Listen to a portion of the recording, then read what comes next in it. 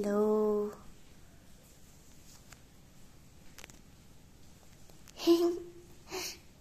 पता है हम कौन हैं और यहाँ क्या कर रहे हैं? मेरा नाम है जमाल। और मैं हूँ इसकी बहन, यानी कि सिस्टर आयशा। हम यहाँ आपको एक कहानी सुनाने आए हैं। हमारी कहानी। सुनाए? अभी सुनाते हैं। ध्यान से सुनना। बहुत साल पहले की बात है। एक गाँव में एक प्यारा सा लड़का रहता था, जमाल। और उसके साथ थी उसकी प्यारी सी क्यूट सी बहन, आयशा। और ये जमाल और आयशा एक प्यारे से घर में अपनी अम्मी और अब्बू, यानी के अपनी मम्मी और पापा के साथ रहते थे। जमाल और आयशा दोनों ही बहुत ही अच्छे बच्चे थे। पढ़ाई भी अच्छे से करते थे और खेलकूद में भी अपने स्कूल में फ़र्स्ट आते थे। हर तरह के कंपटीशन में भाग लेते थे। यानी कि कोई भी एक्टिविटी हो, वो सब एक्टिविटीज़ में पार्टिसिपेट ज़रूर करते थे। चाहे वो फ़र्स्ट आए या ना आए, क्योंकि उन्हें पार्टिसिपेट करने में, वो एक्टिविटी बनाने में बहुत मज़ा आता था। और वो इसलिए भी करते थे क्योंकि उनकी अम्मी ने, यानी कि उनकी मम्मी ने उन्हें हमेशा से सिखाया था कि जीतना ही सब कुछ नहीं होता। हम जब कोई भी काम करते हैं तो उस काम को करने में जो मज़ा आता है, जो हम एंजॉय करते हैं, वही सबसे मेन चीज़ होती है। इसलिए हमें हर तरह के एक्टिविटीज़ ज़रूर करनी चाहिए। एक दिन, जमाल और आयशा दोनों के स्कूल की छुट्टी थी। जब जमाल सुबह सोकर उठा तो उसने देखा कि पापा भी घर पर हैं। पापा ऑफ़िस नहीं गए? अरे, ये क्या? हमारी तो छुट्टी है। पापा की भी छुट्टी है। आज ऐसा क्या है? फिर वो अपनी मम्मी के पास गया। तो उसने देखा कि उसकी मम्मी क्या कर रही थी। उसकी मम्मी कपड़े निकाल निकाल के बॉक्स में पैक कर रही थी। अलग अलग कपड़े। कोई मम्मी का कपड़ा था तो कोई पापा की टी शर्ट थी। हम्म और फिर उसने पूछा, मम्मी, अम्मी, ये क्या कर रही हो? हम कहीं जा रहे हैं क्या? ओहो, हम दादा दादी हाउस जा रहे हैं? तो उसकी अम्मी ने बोला नहीं तो। अच्छा तो हम नाना नानी के घर जा रहे हैं। ये बहुत मज़ा आएगा। मैं तो खूब सारा खेलूँगा वहाँ। तो उसकी अम्मी ने फिर बोला हम कहीं नहीं जा रहे बेटा, मुझे काम करने दो। उसने कहा, वो कंफ्यूज हो गया। उसने सोचा, हम कहीं जा भी नहीं रहे और फिर भी मम्मी कपड़े पैक किए जा रही है, किए जा रही है। मम्मी क्या कर रही है? तो फिर उसको लगा हम्म पूछना पड़ेगा, हो क्या रहा है? तो फिर उसने पूछा तो अम्मी, आप ये पैकिंग किस लिए कर रहे हो? ये सारे कपड़े, ये किताबें, मेरी पुरानी बुक्स भी रख रहे हो। ये क्यों पैक कर रहे हो इस बॉक्स में? तो उसकी मम्मी ने कपड़े रखते हुए कहा, क्योंकि आज ईद है, परेशान मत करो। बहुत काम है आज मुझे। चलो जाओ यहाँ से। ये बोल के उसकी मम्मी अंदर और कपड़े लेने के लिए चली गई। तो उसने जाकर बॉक्स में झांका। अरे इसके अंदर तो अच्छे अच्छे कपड़े हैं। हम्म क्या हो रहा है? कुछ समझ नहीं आ रहा मुझे। क्या करूँ मैं? क्या करूँ क्या करूँ? पापा से पूछूँ? पर पापा नज़र नहीं आ रहे। कहीं चले गए लगता है। ठीक है, चलो, मैं ऐसा करता हूँ कि मैं खेलने जाता हूँ। और ये बोलकर, ये सोचकर, वो फटाफट जाकर खेलने चला गया पार्क में। पार्क में जाके वो खेलने लगा अपनी कार के साथ। वो एक ब्लू कलर की कार थी जो जमाल की फेवरेट थी। रूम रूम श्यू श्यू श्यू उसको बहुत मज़ा आ रहा था खेलने में। तभी उसने देखा कि पार्क के दूसरी तरफ़ एक छोटी बच्ची गौर से उसको देख रही थी खेलते हुए, उस कार के साथ। और ऐसा लग रहा था कि उसे वो कार बहुत पसंद आ गई थी। जमाल थोड़ी देर तक उसको देखता रहा, फिर उसने अपनी कार उठाई और वो फटाक से अपने घर भाग गया। अब वो लड़की वहीं खड़ी होकर जमाल को जाते हुए देखती रही। जब जमाल घर वापस पहुँचा तो उसने देखा कि उसकी मम्मी पूरा बॉक्स भर चुकी थी कपड़ों से और उन्होंने बॉक्स बंद कर दिया था। तो जमाल को याद आया कि उसने अपनी मम्मी से पूछा ही नहीं कि आज क्या है जो सबकी छुट्टी भी है? और मम्मी सुबह सुबह एक बॉक्स में पता नहीं तरह तरह का सामान डाले जा रही है, डाले जा रही है। तो फटाफट भाग के मम्मी के पास गया। अम्मी अम्मी प्लीज़ मुझे बताओ ना, आज क्या है? आप ये क्या कर रहे हो? जब हम कहीं जा नहीं रहे तो फिर आपने ये बॉक्स में इतने सारे कपड़े, किताबें, ये सब क्यों भरी हैं? बताओ ना। तो उसकी अम्मी ने बोला, क्योंकि आज ईद है, बताया तो था। ईद, हमें पता है कि ईद एक फेस्टिवल का नाम है, लेकिन उसका इस बॉक्स से क्या लेना देना? बॉक्स में क्यों सारा सामान पैक किया?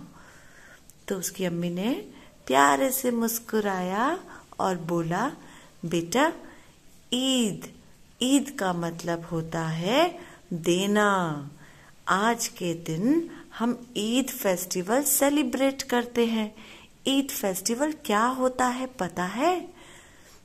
तो जमाल ने बोला, नहीं पता मम्मी, तभी तो सुबह से पूछ रहा हूँ, आपके पास टाइम ही नहीं है।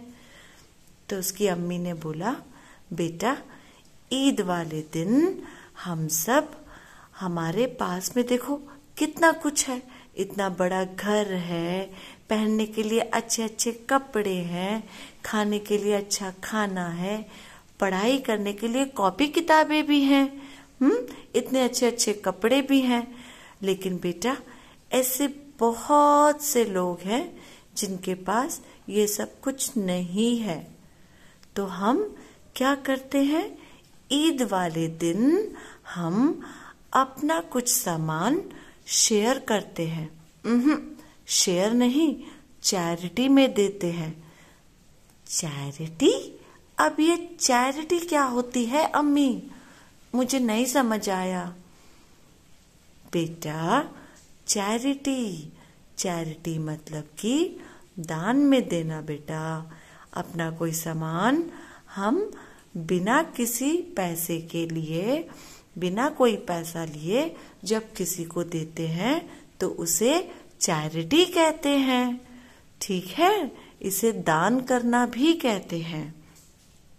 अच्छा तो ये होता है चैरिटी ओके तो इसीलिए आपने इस बॉक्स में इतने सारे कपड़े, हमारी बुक्स सब डाला है।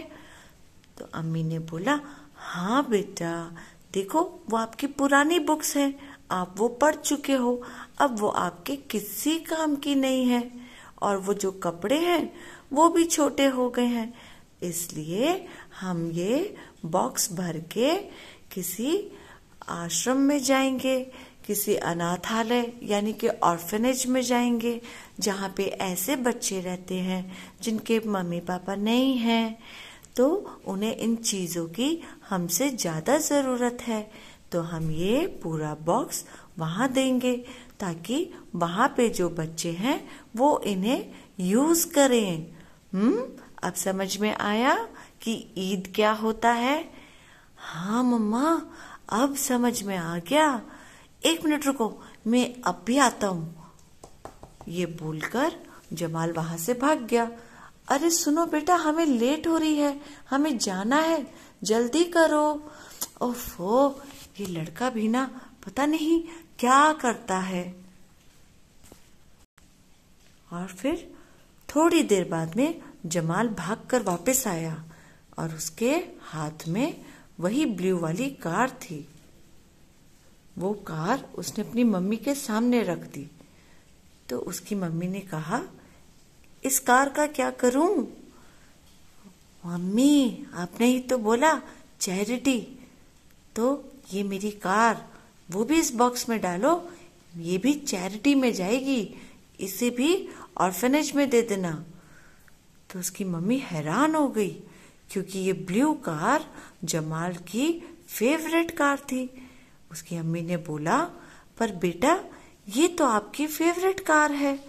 ये मैं कैसे चैरिटी में दे दूँ? क्या आप इसके बिना रह लोगे? तो जमाल सोचने लगा। फिर बोला हाँ मैं रह लूँगा। तो उसकी अम्मी ने पूछा, क्यों बेटा? क्या हो गया? तो जमाल ने बताया, जब मैं आज पार्क गया था ना अम्मी, खेलने के लिए तो वहाँ पे एक छोटी लड़की थी, जो बार बार मेरी इस कार को देख रही थी। अब मुझे समझ में आया कि वो मेरी कार बार बार क्यों देख रही थी। उसके पास में पैसे नहीं होंगे ना कार खरीदने के लिए? तो उसका भी मन कर रहा होगा ऐसी कार के साथ खेलने का। ऐसे बच्चे ऑर्फेनेज में भी होंगे ना, जिनका मन करता होगा अच्छे अच्छे खिलौनों के साथ खेलने का।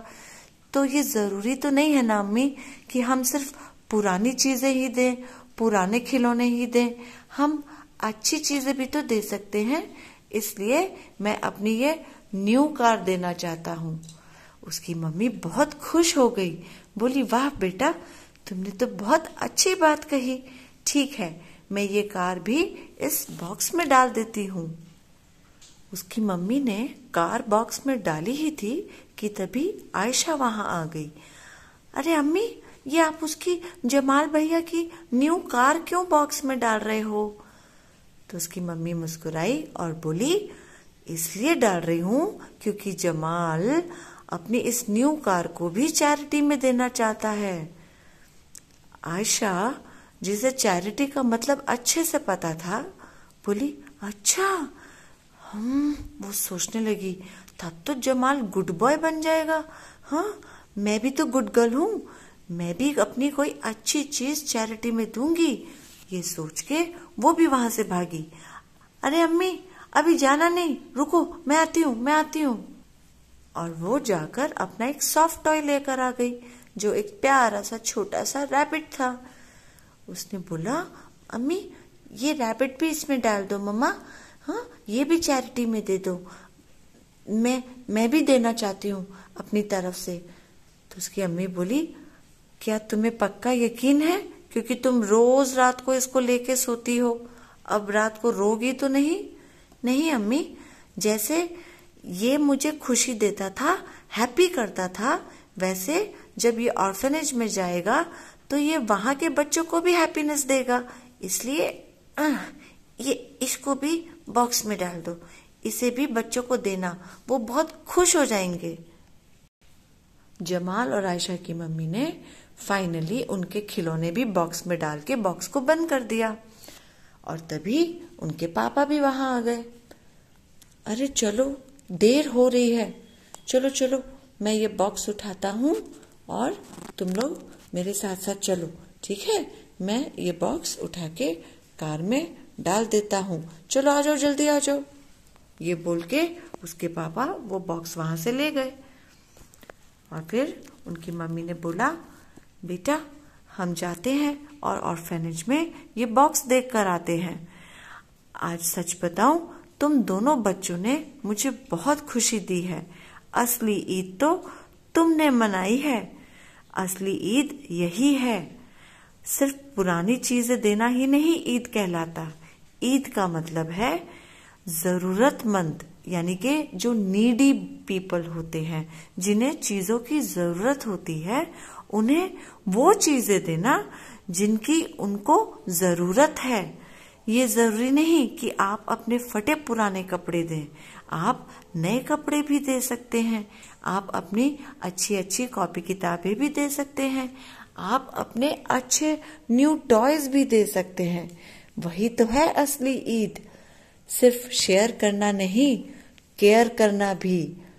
हम्म जो दूसरों के बारे में अच्छा अच्छा सोचे, उनकी जरूरतों को पूरा करे। वही है असली इंसान, वही है जो ईद को सच में मनाता है। पर जाने से पहले एक बात और कहूँगी। क्या मम्मी, क्या? ईद मुबारक मेरे बच्चों, ईद मुबारक। आज तुम लोगों ने असली ईद मनाई है।